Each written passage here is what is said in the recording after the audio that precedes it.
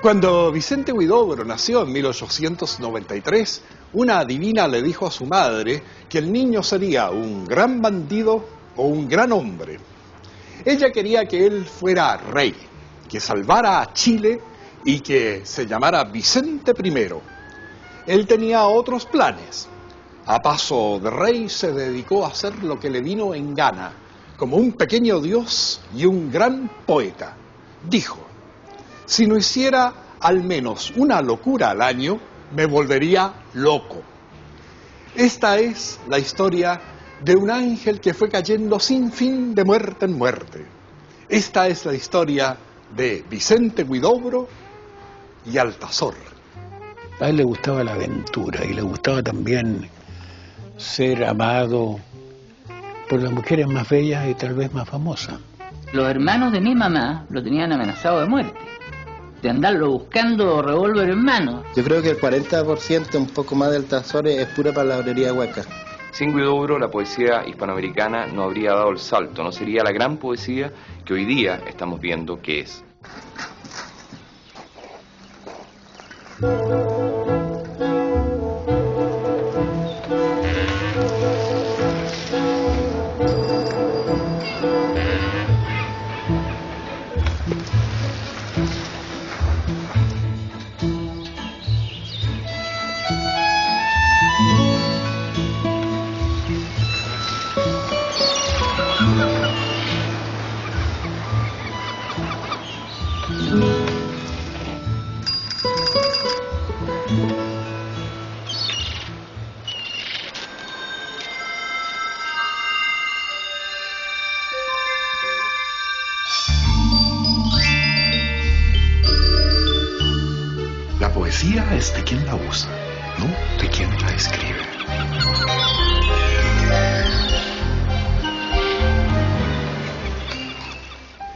Tardó más de 10 años en escribir su obra maestra. En ella canta las aventuras de Altazor, un hombre que nace a los 33 años e inicia en paracaídas un viaje lleno de preguntas, afirmaciones categóricas y respuestas.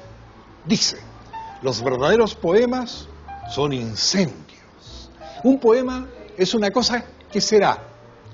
Un poema es una cosa que nunca es, pero que debiera ser. Un poema es una cosa que nunca ha sido, que nunca podrá ser. ¿Difícil de comprender? No tanto. Por ejemplo, un pájaro que anida en un arco iris. Algo así no es posible en la realidad, solamente en el poema. Lo que algunos ignoran es que ficción y realidad se cruzan en las vidas de Huidobro y de Altazor. Ambos están profundamente enamorados de sí mismos. Ambos quieren brillar, trascender, ser francotiradores, antipoetas y magos. Altazor o Viaje en Paracaídas es un extenso poema dividido en siete cantos que fueron precedidos de un prefacio en prosa por Huidobro. El personaje que da título a la obra desciende como en paracaídas desde las alturas hasta zonas donde incluso el lenguaje se desvanece. Altazor se publica por primera vez en 1931, cuando Vicente tiene 38 años y el mundo trata de seguir adelante a pesar del crash económico. Ese año se inaugura en Nueva York el edificio Empire State. La obra arquitectónica se erigirá como el rascacielos más alto del mundo hasta 1972, cuando en esa misma ciudad se levanten las Torres Gemelas. Mientras tanto, el dirigible Graf Zeppelin inaugura con éxito el primer servicio comercial de pasajeros transatlántico, uniendo Alemania y Brasil. En 1931, fuertes protestas populares provocadas por la crisis económica estallan en Chile.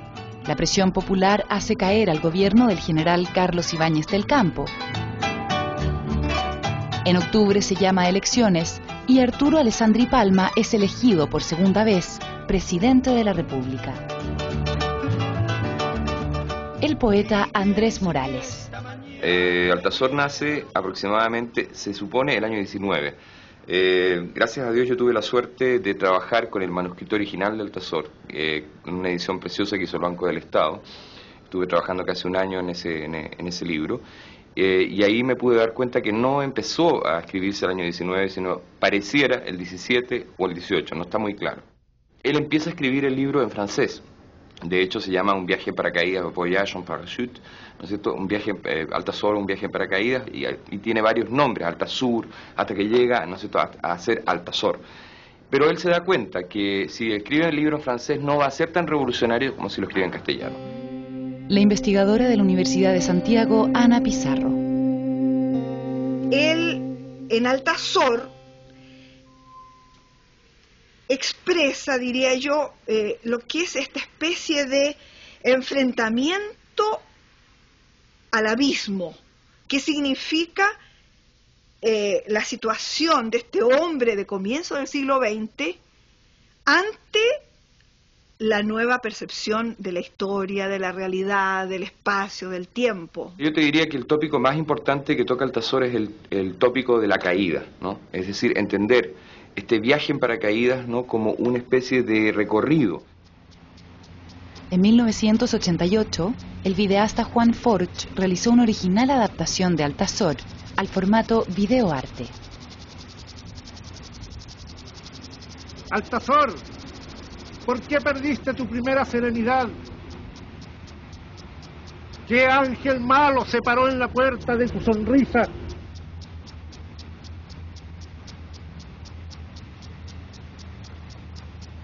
¿Por qué de repente sentiste el terror de ser? Y esa voz que te gritó, ¡vive!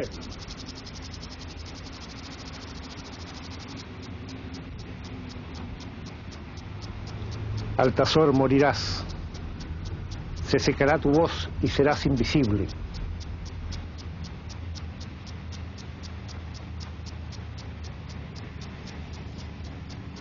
¿No ves que vas cayendo ya?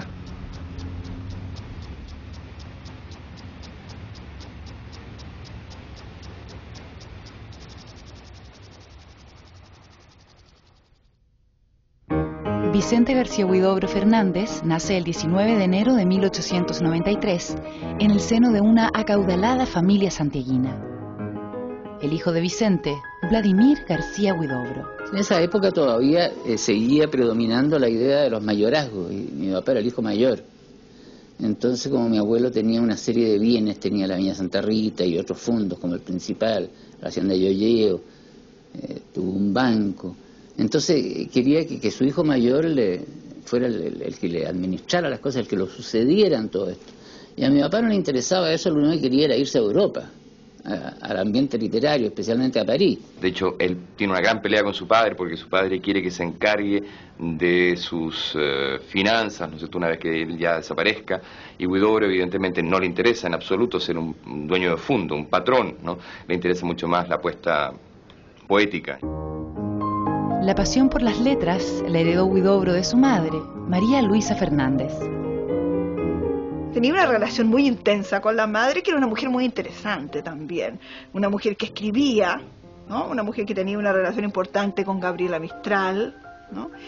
Eh, y, y Huidobro tenía una relación de amor con su madre increíble. ¿no? Volodia Teitelboim conoció al poeta y escribió su biografía.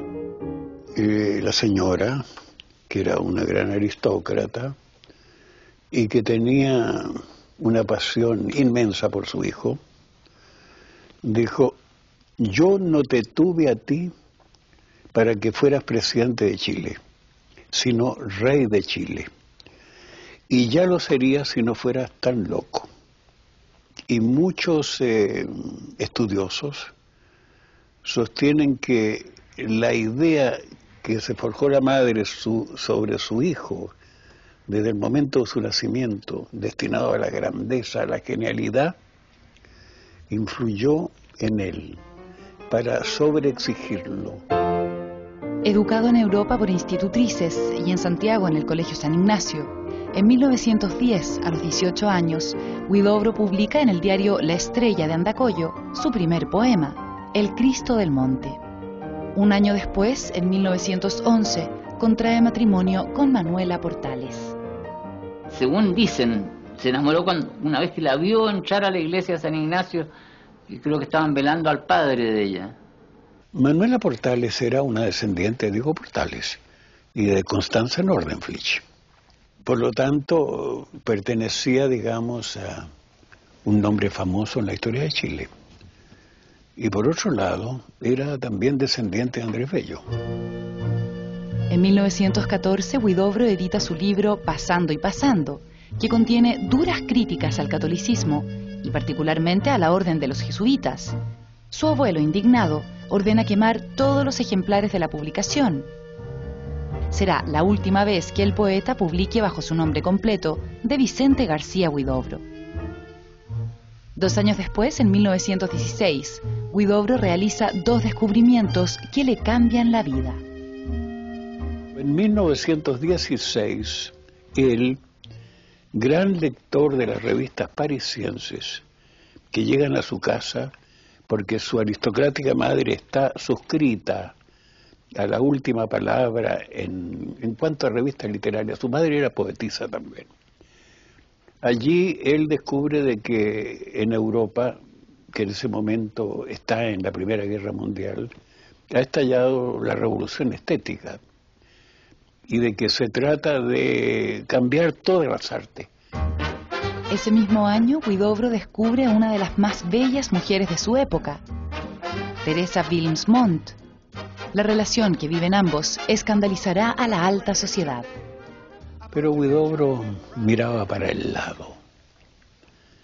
Y entonces eh, a él le gustaba la aventura y le gustaba también ser amado por las mujeres más bellas y tal vez más famosas. Y él emprende una aventura con Teresa Wilsmont.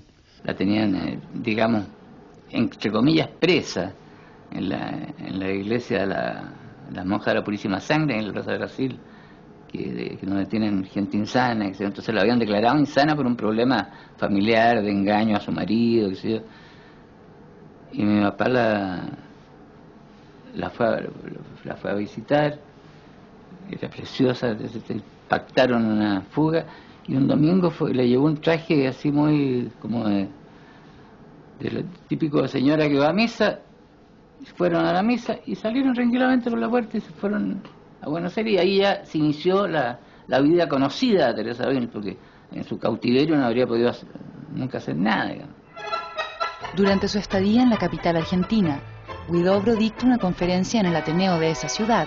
Ahí insinúa una nueva teoría estética que ha estado construyendo en los últimos años, el creacionismo. En su lectura, el poeta anuncia que para la lírica mundial una nueva era está por nacer. Nunca se ha compuesto un solo poema en el mundo. Solo se han hecho algunos vagos ensayos de componer un poema. La poesía está por nacer en nuestro globo y su nacimiento será un suceso que revolucionará a los hombres como el más formidable terremoto. El creacionismo fue la, la, gran propuesta de Huidobro, ¿no? Que era no hacer una poesía a imagen de la realidad y de la naturaleza, decía él, sino hacer una poesía que invente otros mundos. Él decía, la poesía comienza allí donde termina la vida. La, idea central es que el poema debe ser creado sin copiar a la naturaleza. Dice, hacer un poema como la naturaleza hace un árbol. No hay que cantar a la lluvia, hay que hacer llover en el poema. La relación con Teresa Wilms es tan intensa como corta. Tras meses apenas de su ida con Teresa Wilms, Huidobro regresa a Santiago, solo. Su familia lo acepta con dos condiciones, que vuelva con su esposa y que el matrimonio se mude a Europa para evitar habladurías. Huidobro es el más feliz con esta segunda condición. Establecido en París, Huidobro entabla amistad con los artistas e intelectuales más avanzados de su época, como André Breton, Guillaume Apollinaire, Joan Miró y Pablo Picasso, autor del célebre retrato que hasta hoy representa al poeta. A costa de talento e ingenio, Huidobro brillará con colores propios en la ciudad luz. Yo diría que Huidobro es uno de los tipos más extraordinarios en qué sentido, en que él es el primero, por ejemplo, que genera una estrategia de marketing para la poesía. Eh, ¿En qué sentido? En que él se hace secuestrar en París. Huidobro no lo conocía nadie en París. Eh, él llega, pues, evidentemente, bueno, lo conocía Juan Gris, lo conocían algunos poetas, lo conocían algunos pintores, lo conocía Picasso, qué sé yo, pero no era un personaje popular. Entonces él inventa un procedimiento muy divertido y muy, muy, muy eh, fantástico, digamos, para la época, que es autosecuestrarse, ¿no? Y de repente, de un día para otro, se hace famoso y aparecen todos los titulares de toda la prensa, ¿no es cierto? El poeta chileno Vicente Huidobro ha sido secuestrado. ¿Por qué? Porque él escribió un libro contra el Imperio Británico, que se llama Finis Britannia. Me acuerdo una vez que andábamos juntos en el centro en Santiago y se encontró con un amigo que lo había visitado en París.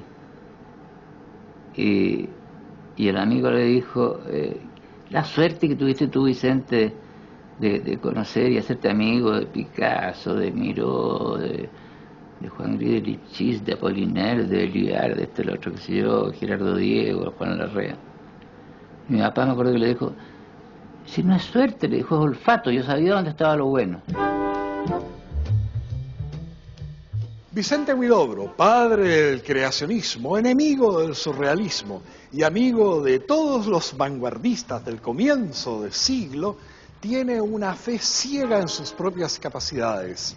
En 1925, cuando París está rendido a sus pies, decide volver a Chile.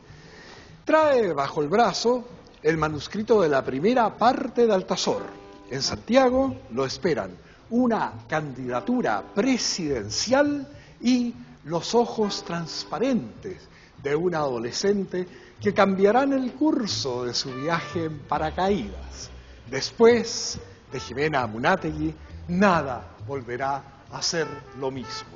Altazor, el ángel trascendental, cae de bruces en el territorio del amor. Se fue a París porque los hermanos de mi mamá lo tenían amenazado de muerte, de andarlo buscando revólver en mano, o sea, era cosa seria.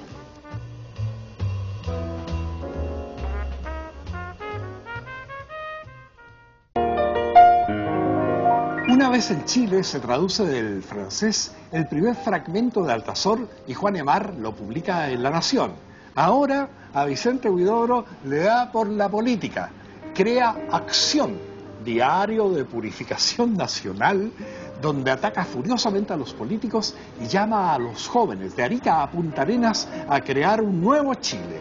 Tras dos atentados contra el periódico, este es proscrito por el gobierno. Como venganza, Vicente Huidobro anuncia ahora su candidatura a la presidencia de la República inspirado en un héroe revolucionario turco de la Primera Guerra Mundial llamado Mustafa Kemal. En Chile, nosotros siempre vimos a Huidobro como una especie de apolítico, ¿no? Como un hombre del discurso poético de la palabra, y Huidobro fue profundamente político. El primer artículo que publicó se llamaba Alibaba y los 40 ladrones y salían 40 nombres de personas con picuas de la sociedad chilena como, que él las consideraba ahí como y las declaraba como, eh, como corruptas. Los ideales estéticos y políticos apasionan a Huidobro de manera casi tan intensa como le apasionan las mujeres. Entonces de repente veía a una mujer que le gustaba. Entonces decía, qué belleza. Empezaba a producir poesía y quería seguirla. La mujer se, se subía a un tranvía que entonces pasaban por esa calle. Y él, que no alcanzaba a subir al tranvía, seguía corriendo por la vereda. Estaba con un grupo de amigos en una exposición de pintura y entró una señora con la que era aparentemente su hija, que era estupenda, preciosa. Entonces inmediatamente este grupo de mi papá y sus amigos pensaron cómo abordarla. Era una época en que una, frase ingeniosa eh, producía gran efecto. Entonces mi papá se acercó y le dijo, señorita, cuando a usted se la ve, se la ama. Y cuando se la ama, ¿dónde se la ve? Entonces ella le dijo, en la Place Blanche a las 5. Es por una mujer, precisamente, que el poeta se involucra en uno de los mayores escándalos registrados entre la alta sociedad chilena de la época. El año 25, cuando Huidobro viene al matrimonio de su hermana, entonces eh, conoce a Jimena, que es una muchachita, que tienen 13, 14 años o 15, y que de alguna manera forma parte del círculo familiar. Mi madre fue a veranear a la Viña Santa Rita, donde mismo iba a ir él, porque mi mamá era tenía una hermana Carmen, casada con Rafael García Bodro, hermano de mi papá. Entonces estos llevaron a la hermanita menor, a mi mamá. Y mi papá fue con su familia, como era Portales y sus hijos. Y parece que ahí en, la, Santa Rita se inició el gran romance. El día de Viernes Santo del año 27 se publica en la primera página de La Nación un poema dedicado a Jimena. No la nombra a ella, pero él asume el papel de Jesucristo, que ese día, Viernes Santo, es crucificado. Y él también está en la cruz y tratan de asesinarlo, de matarlo, por el gran pecado, el amor. Mi papá tuvo que tuvo que arrancar del país un tiempo, porque los hermanos de mi mamá lo tenían amenazado de muerte, de andarlo buscando revólver en mano, aunque no sea, era cosa seria. Entonces, estando en París, planificaron la, fuga con mi mamá, que parece que ayudó ahí una, una empleada antigua de la casa. Eh, y mi papá se vino, ya tenían todo arreglado. Mi mamá estudiaba en el Liceo 2 de niña. Dijo que tenía que ir al dentista, me parece. Ahí se encontró con mi papá que andaba con una barba postiza, disfrazado. Eh, bueno, tomaron un auto y se fueron al tren para Buenos Aires. Entonces, digamos, eh, el escándalo es indescriptible. Después la madre, que lo ama y es la única que lo acepta y nunca lo abandona, su madre, está espantada porque tiene noticias de que los hermanos de Jimena van a Europa con el designio de matar a Huidobro. De vuelta en Europa, Huidobro organiza los preparativos para casarse con la joven Jimena. Como su anterior vínculo con Manuela Portales no está disuelto, decide contraer matrimonio bajo la religión musulmana. Establecido de nuevo en París, Huidobro pone punto final al largo poema que ha estado preparando durante la última década. Fue de parto largo, un parto, digamos, de la elefanta, porque lo termina, en definitiva, el año 1931. O sea, fueron 12 años. Y lo va publicando por partes. Originalmente se llama Viaje en paracaídas. Es un poema escrito en los comienzos de la aviación. Y por lo tanto el viaje en la altura y el paracaídas era una gran novedad. Y el prefacio de Altazor, que lógicamente que puede haber hecho agregados o retocados o retoques, eh, es sin duda que está dedicado a mi mamá, con la primera frase con que comienza. Nací a los 33 años el día de la muerte de Cristo. Ahí es un juego de dos conceptos, el amor que nace para él a los 33 años cuando se enamora de mi mamá y el día de la muerte de Cristo su ateísmo. Mujer, el mundo está amueblado por tus ojos. Se hace más alto el cielo en tu presencia. La tierra se prolonga de rosa en rosa dejas una y el aire se prolonga de paloma en dejas paloma. caer tus luces como el ¿Qué barco que combate pasa se libra en el espacio? mientras te sigue mi Esas lanzas de luz entre planetas, reflejo de armaduras despiadadas. Y ¿Qué estrella sanguinaria no quiere ceder el paso? ¿En dónde estás, triste noctámbula, aquí, dadora de infinito, que pasea en los bosques de Solo los sueños? como la pluma que se cae de un pájaro en la noche. El aquí arco de tus cejas de tendido frío, para las armas de los del ojos. recuerdo de En la ofensiva alada vencedora segura del con de orgullos tus de flor. Te hablan de por mí las piedras aporreadas. Te hablan por mí las olas de pájaros sin de cielo. Te habla por mí el color de los paisajes sin viento. Te habla por mí el rebaño de ovejas. El año 31, cuando aparece el Tazor, aparece solo un artículo en la prensa española. Eso es, ese es el gran misterio, podríamos decir, eh, y el gran, la gran tragedia de Altazor. Altazor es un libro que se valora con el tiempo. No es un libro que en el momento que sale ¿no es cierto?, tiene un éxito rotundo. Primero porque no lo entiende nadie, o sea, de hecho, mucha gente considera la poesía de Huidobro como poesía de loco, o sea, como poesía absolutamente eh, fuera de lugar, nadie entiende nada. El dramaturgo chileno Juan Rodrigán investigó la biografía y la correspondencia de Vicente para escribir su pieza teatral Huidobro, digo siempre adiós y me quedo. A partir de su investigación, Rodrigán plantea su crítica visión del poeta. El Altazor, oye, em, yo creo que el 40%, un poco más del Altazor, es pura palabrería hueca. Y em, e, es difícil encontrar algo con contenido, con dolor, con hondura, con profundidad, con grandeza, ¿no? Algo, eh, es difícil encontrarle, fíjate, salvo unos párrafos sobre la muerte y, otras cosas. La crítica oficial eh, lanzó grandes risotadas. Entonces algunos eh, lo llamaron eh, absolutamente extravagante, loco. Otros, muy pocos, lo consideraron un genio. Yo creo que está muy inflado Altazor, con todo respeto. O sea, con ningún respeto. Yo creo que está demasiado inflado. Por ejemplo, yo me río, yo no sé si a los demás les parecerá una alta poesía y todo eso, pero yo me río de esas seis páginas que tiene sobre el, molino, ¿no? El molino azul, el molino dando vueltas, el molino esto, el molino otro. Puro buscando el adjetivo al molino como si yo saliera a la calle y dijera el molino techo, el molino viento, el molino árbol. Yo diría que ese libro no lo entiende nadie al principio. O sea, lo entienden cuatro poetas. Eh, Juan Larrea, Gerardo Diego, como te digo, algunos poetas chilenos como Díaz Casanueva o Anguita o Volodya Teitelboim en su época también, pero no lo entiende casi nadie. yo creo que es un libro incomprendido y como te digo, es un libro que en la historia de la, de la poesía va a tener realmente su peso y su caída, o, su, o su llegada o su eco.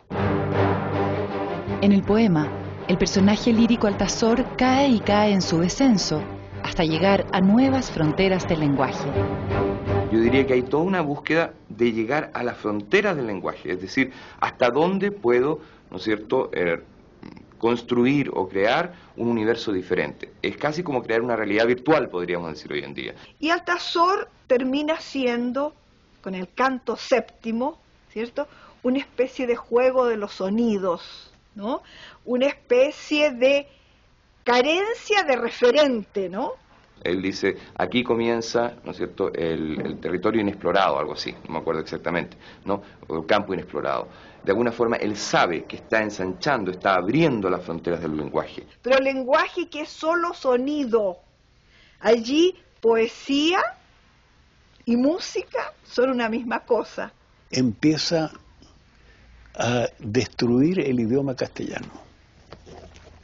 Es decir, lo descompone en sílabas, y finalmente lo torna en un galimatías ininteligible.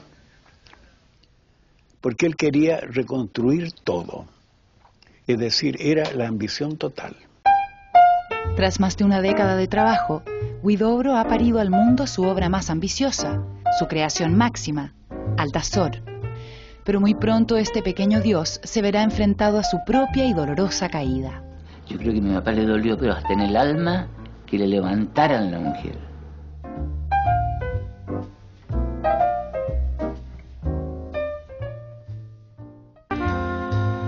Guidobro y Altazor crecieron juntos y vivieron alborotadamente, desesperadamente y con alegría el caos del nuevo siglo. Cuando cantaron a la mujer amada, emplearon tal grado de creatividad que sus palabras tienen que haber resultado sobre ellas francamente desestabilizadoras, cuando no demoledoras. Por ejemplo, te advierto que estamos cosidos a la misma estrella. O, ¿irías a ser muda que Dios te dio esos ojos? O, ¿qué sería de mi vida si no hubieras nacido? Un cometa sin manto muriéndose de frío. O, ¿Irías a ser ciega que Dios te dio esas manos? Cuando el poco tiempo de publicado Altazor, Vicente Huidobro vuelve a Chile, se encuentra con un escenario que le resulta indigno. El poeta más reconocido del país no es él. Huidobro cuando vuelve a Chile el año 1932-33, descubre que la nombradía de Neruda es mucho mayor que la suya. Pero peor, en el año 36-37 en España, cuando se celebra el Congreso de Escritores en Valencia, en tiempos de la guerra de España, el gran escritor latinoamericano reconocido por todos es Neruda y no él. Esto le duele mucho y determina también, digamos, eh, un resentimiento muy profundo del cual yo fui testigo y que determinó también el término de, mi amistad con Guidobro. Mi padre, al igual que, que de Roca, consideraban que Neruda era un poeta dulzón. De ahí esa frase que dijo en una entrevista cuando le preguntaron por Neruda, dijo, para tangos prefiero Gardel. Ambos poetas nunca se reconciliarían en vida. Huidobro tildaba a Neruda de hijo de chofer de ferrocarril. Neruda llamaba a Huidobro el señorito. Pero más allá de estas disputas personales, será el tiempo el principal crítico que reconoce la importancia y revolucionaria influencia de Altazor.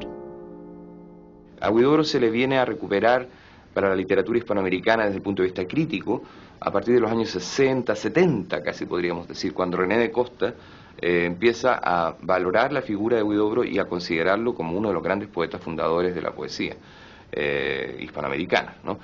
Pero curiosamente ha tenido una lectura o una lectura secreta, podríamos decir, de los poetas. Los poetas han ido leyendo a Huidobro, han conocido su obra, pero eh, la crítica no ha dado, no ha, dado, no ha hecho acuso de recibo, podríamos decir, del libro.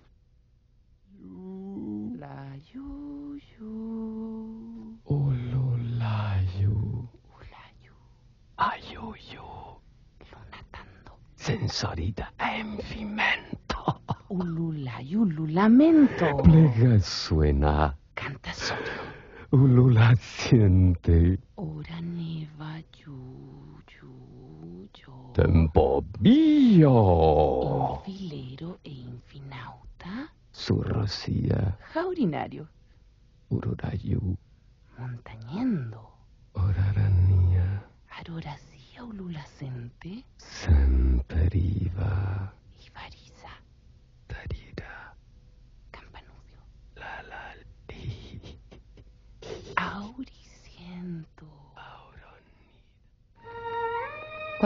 Comienzos de la década del 40 fallece su madre, María Luisa Fernández, Vicente Huidobro cae en una profunda depresión. En 1943 viaja de nuevo a Europa, esta vez como corresponsal de la Segunda Guerra Mundial. A su regreso trae recuerdos del frente, entre ellos un teléfono que asegura era el que usaba Hitler en el búnker donde encontró la muerte. La historia nunca fue confirmada. Entonces inventaba, como te digo, que, eh, que, había, que lo habían herido en la guerra, que lo habían secuestrado, que tenía el teléfono de Hitler, todo eso. Y todo eso eran, pero mentiras de marca mayor. claro, nadie lo, había, nadie lo había secuestrado nunca. Nunca tuvo el teléfono de Hitler, ni siquiera fue a la guerra, no lo hirieron. ¿Quién lo iba a herir si no estaba en la guerra? ¿Ah? Que haberlo ido a buscar a su casa. Un alemán tendría que ir a buscar. pero no, y inventaba eso y como... Por la, hay mucha gente así, ¿ah? que inventa, para estar como en primer plano siempre. ¿ah? Y alguien le decía algo y partía. Por ejemplo, estaba en París, eh, en Madrid, algún escritor decía algo contra él y partía para allá a discutir. Pues tenía los medios. ¿Mm? Y partía y se le olvidaba que tenía familia y se quedaba un mes por ahí, iba para otras partes. Y esa era su vida.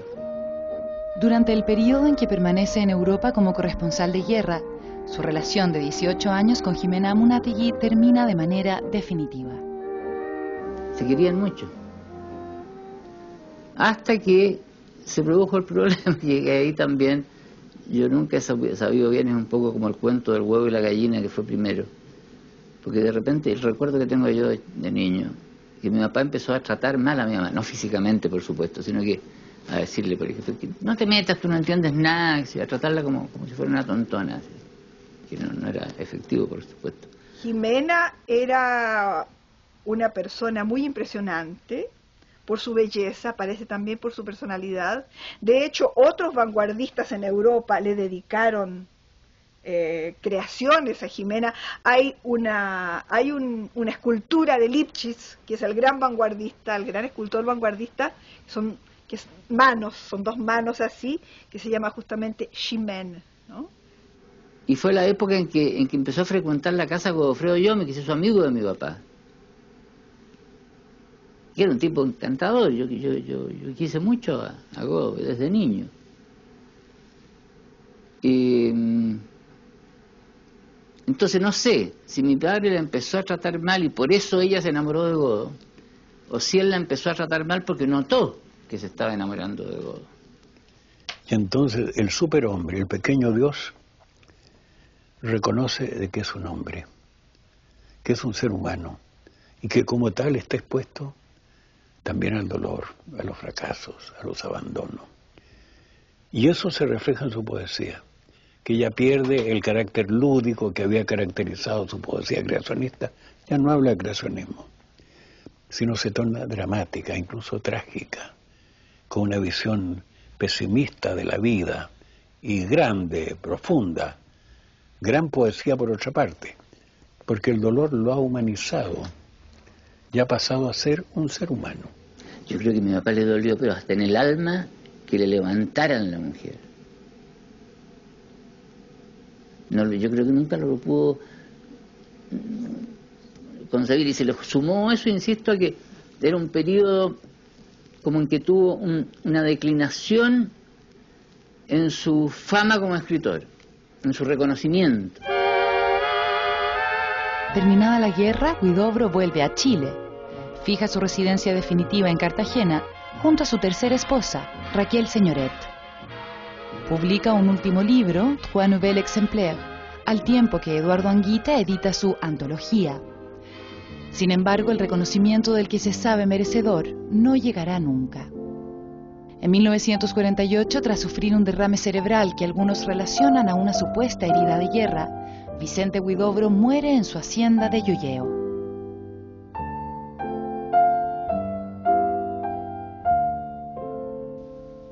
Yo creo que a Huidobro se le sigue mucho más por su calidad de poeta que por su propuesta teórica. Es decir, no existe una escuela creacio- creacionista, ¿cierto? Pero sí existe una gran poesía guidobriana que es modelo, que es más que modelo, referencia fundamental para la poesía posterior. Eh, una vez le oí una conferencia en la Universidad de Chile a Cedomil Goic que me llamó la atención y que la encontré muy acertada, que dijo, y que la comparto, Huidobro puede tener seguidores y detractores, pero lo que nadie puede negar es que la literatura se puede dividir en antes de Huidobro y después de Huidobro. Altazor es tal vez eh, el libro de un latinoamericano y probablemente de un poeta del siglo XX que haya pretendido llegar más lejos en la tarea de crear un mundo propio. Y ahí creo que reside el valor excepcional del libro, que quedará siempre como el planteamiento de un hombre que quiso ser Dios y hacer el mundo de nuevo, seguramente para hacerlo mejor.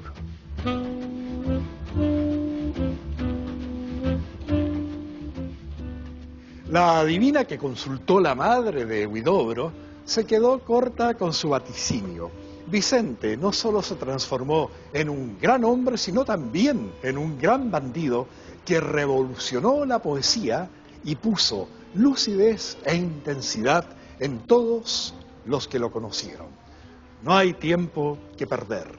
Yo mido paso a paso el infinito. El mar quiere vencer y no hay tiempo que perder. Ah, entonces, entonces, más allá del horizonte, se verá lo que hay que ver.